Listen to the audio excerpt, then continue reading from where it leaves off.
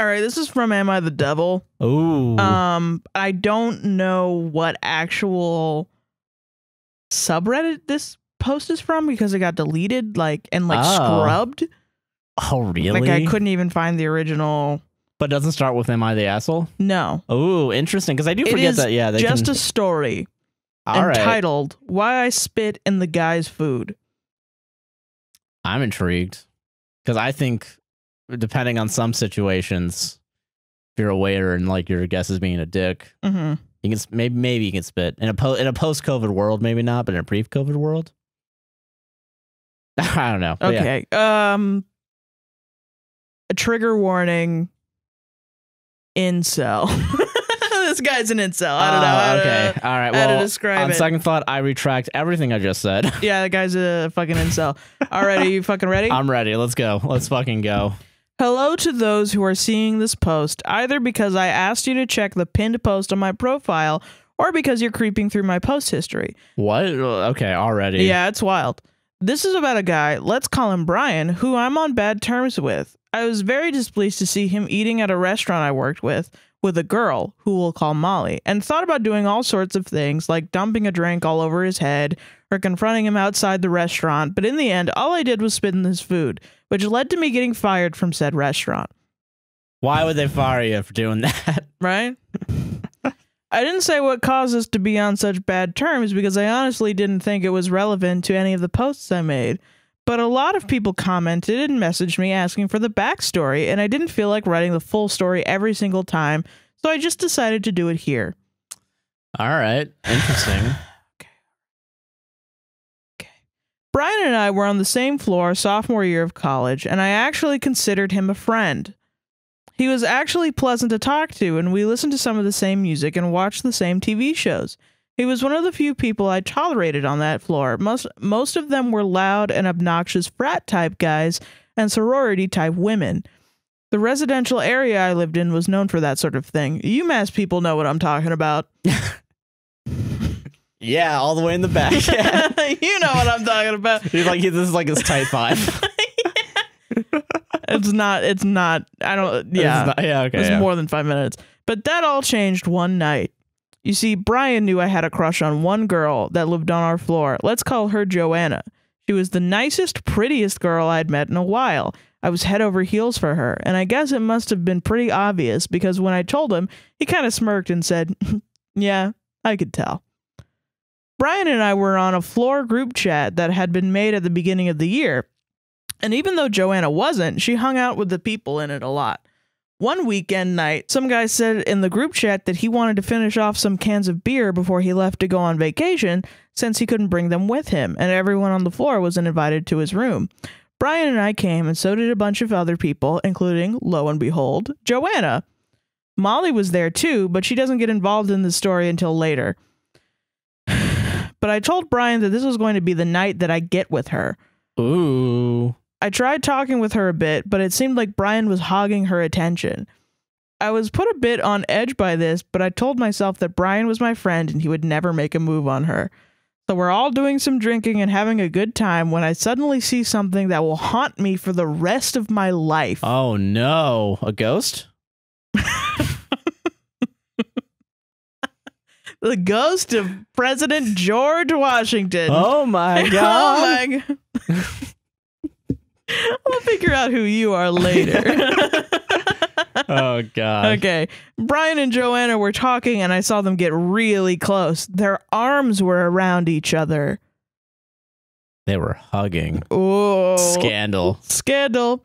And without any warning, he kissed her. He fucking kissed her. That motherfucker. fucking bitch. I was unfathomably angry. I'm getting kind of angry writing this, not gonna lie. God, you're such a fucking dweeb. Jesus. Seven years ago. And you're still just like, man, I can't, let control my anger, man. I- right? Yeah, that's a problem. You That's need a to go problem. to therapy. You need to go to fucking therapy. All I was thinking was, how the fuck could he do that to me? He was my friend. At least I thought he was. Honestly, it just didn't make sense that she would want to be with him. He was a brute. and she didn't seem like the type that was attracted to people what like a him. shift in your friendship. Like Yeah. he was different from all the other jock guys until he kissed a woman. then he's a brute. Then he's a brute. So my first thought was that he kissed her without her consent. I stormed out of that room, went up to the RA of that floor, and told him that Brian was harassing her. He said thanks for letting me know and that he'll have a word with Joanna. Didn't care what became of I didn't care what became of this. I was so genuinely angry at him that I hoped he'd get kicked out of the dorm. Getting him kicked out of the dorm was my main goal, since I knew I could never speak to him again. That what the fuck? Is, what? Okay. All right. Uh, uh, okay. All right. I spent the rest of the night silently crying to myself, but hoping justice would would prevail. Spoiler alert.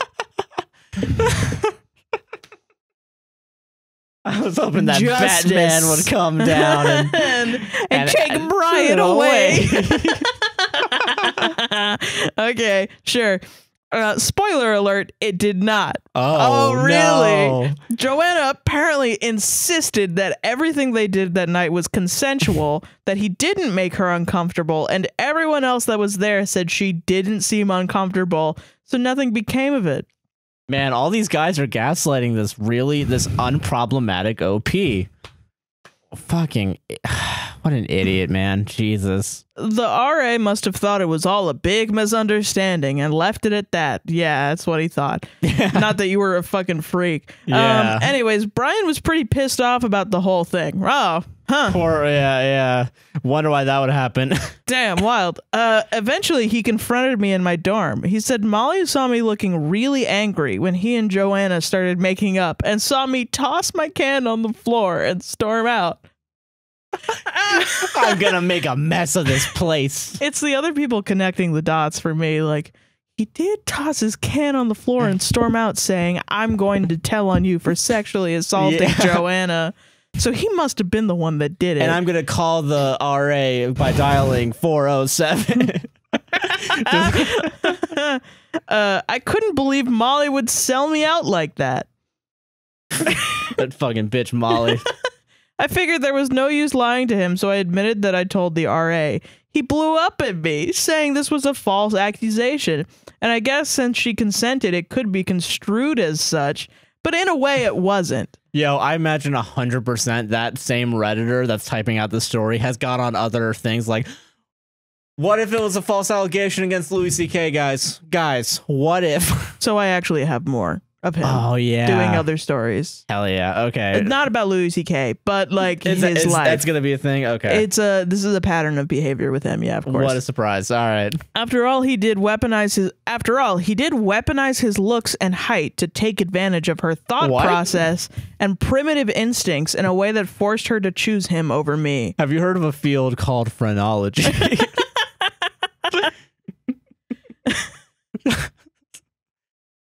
Can I measure the sh- Oh my Can I measure your skull, please? A hundred percent. That guy, this fucking incel believes that shit. Yeah.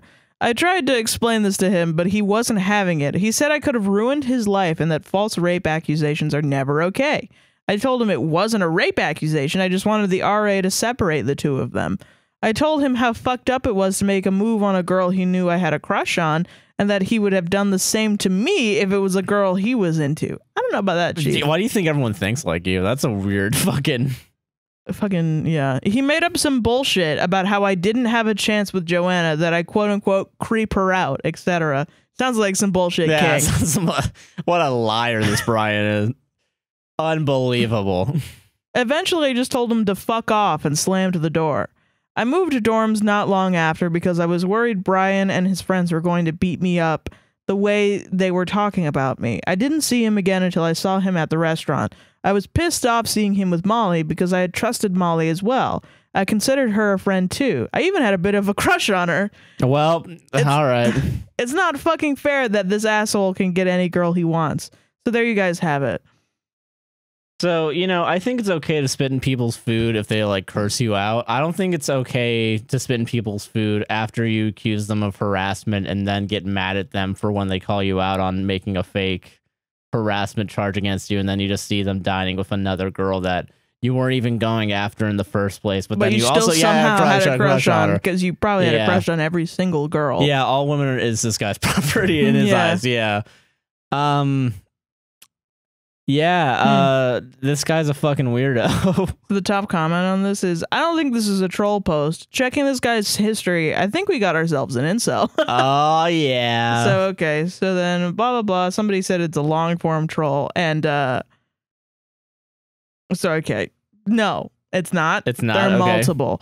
Um, trigger warning: spit, sexism, incel, racism, and fetishization. This isn't all of it. Just a selection. Oh no. Some links will go to Unddit and Reveddit. So Oh, they've gone like into like the Yeah. old caches of like what not caches, whatever the thing is. I think this guy has been scrubbed from Reddit because Probably like suspended or some shit. Yeah. something's happened. Yeah, I wonder what what do you Well, I wonder what the line was that was crossed because there were many lines crossed in that post alone. I'm gonna just read the titles of the posts. How Okay, about that? I'm cool because that. they're very long and it's filled with the exact same thing, and you can fill in the blanks. yeah, I think we know enough about this guy to kind of assume how he would act. Search this post on Am I the Devil if you really want to go Yeah. read it because you can't brigade the guy. You you can't find the yeah. post. It's Yeah. he's gone.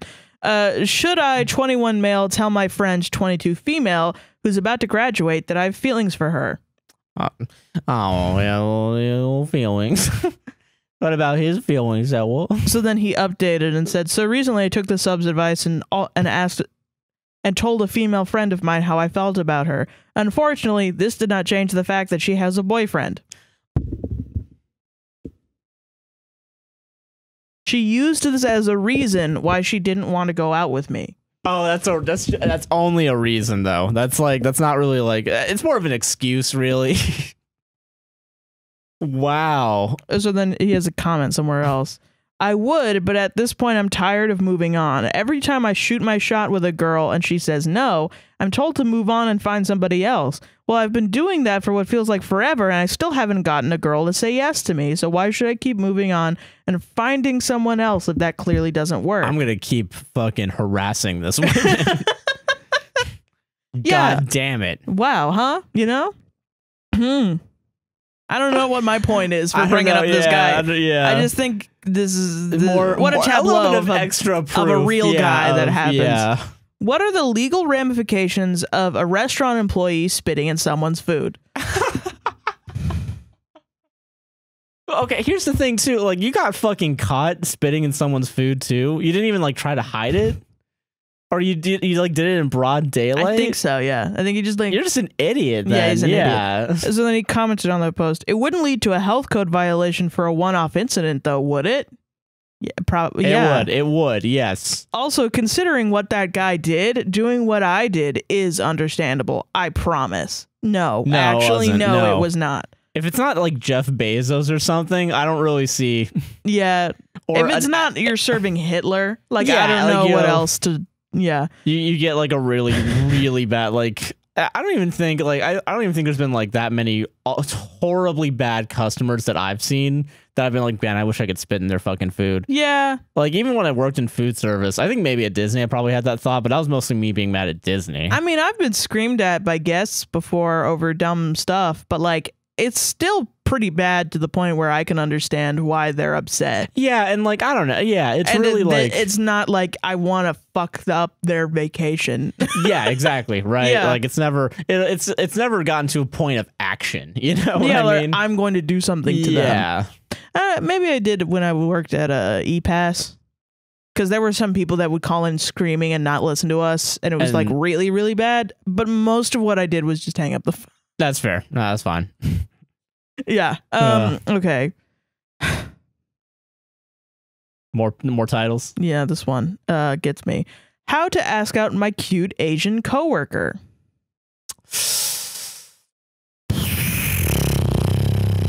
And that's the last one. Yeah, I think that's a fed. that's a Oh wait, no, there's another one. Sorry. Uh, reminder that the non-virgins here giving advice do not care about you. If they did, they wouldn't keep giving the same shitty advice that doesn't fucking work. They're just here because they want to feel superior to someone, and picking on a group of lonely people is the only way to make them feel better. No, they get pussy, so they feel better. they do feel better. Yeah, yeah. It's them yeah. getting pussy that makes them feel better. They're they probably are trying to help people. sex is not the most important thing in the world. If I'm honest, it's it it is really good. Listen, I'm saying, it, but like there are ace people out there that live extremely fulfilling lives. Yeah, no, I get you. That's fine. But don't like freak out because you can't get pussy because you're a little jerk. Yeah, You're just a little jerk, and every usually- woman can feel that innately Yeah. about you, and so you don't get pussy. So don't Why turn keep around and be me- like the why- pussy havers have you have uh, have you discriminated against yeah. me. That's not how that works, No, baby. yeah, they keep giving me the advice of not saying bad things to women, but I, they're such bitches. Like, I, I don't know why they won't suck my dick. Like, what the fuck? Like, yeah, you're gonna. There's you're- no advice that will make it so that you get pussy every time because the pussy is not entitled to Yeah, be given to you. exactly. You know what I mean? Sometimes people just don't like you, and that's fine. But they're for sure not going to like you if you act unlikable, Yeah, yeah, it's true. bruh. You got to give them a little bit of a chance to maybe like you. You have to be, yeah. Yes. You can't just walk around and be a mean old piece of shit all the time That hates everyone. and thinks women are inferior Yeah. and like little babies. Are like fucking objects to be conquered. Yeah, that's crazy, dog. Come on. Come on, bud. Fucking incels, man. I don't know. If we have any like proto incels in our audience, fucking take our advice and just like work on becoming a better person Yeah. first. And then you'll fucking have friends and you'll have and then you'll get pussy and then you know, you won't even realize it. You'll wake up one day and you'll be like, "Oh my god. I'm a Chad." I, I got Chad. Yeah. oh fuck." I got big dick energy. Yeah. I know how to woodwork. I go to I go to billiards practice on Saturdays. Yeah, I'm a fucking bro. Yeah. I do things that make me feel fulfilled in my life. Join the photography club. I do nice things for people. And it makes me feel happy. yeah. Donate your time. Go volunteer. Yeah, and get nothing out of it. Just do it. and you know just do shit that where you're not just constantly thinking about why don't I have pussy? Why don't I have pussy? Why don't I have pussy? Why don't I have Why don't I have pussy? Why don't I have pussy? Where's the pussy? like, damn, bruh. God.